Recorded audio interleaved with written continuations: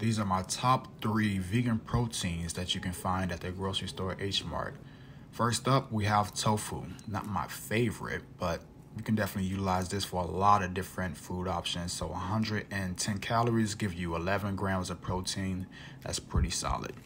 Next up is my favorite, which is seitan. So it comes in two flavors, basically vegan chicken and then vegan beef. This whole pack right here is 300 calories and it gives you 52 grams of protein. An excellent source of protein, very concentrated and very versatile with all the different type of dishes you can use it for. Next, we have our oyster mushrooms. Now, this is an underrated source of vegan protein. 148 grams gives you 50 calories with 5 grams of protein. It's just that you have to eat so much of it to get that protein intake up, so it's probably best used as a secondary source. Those are my top three faves. Subscribe for more.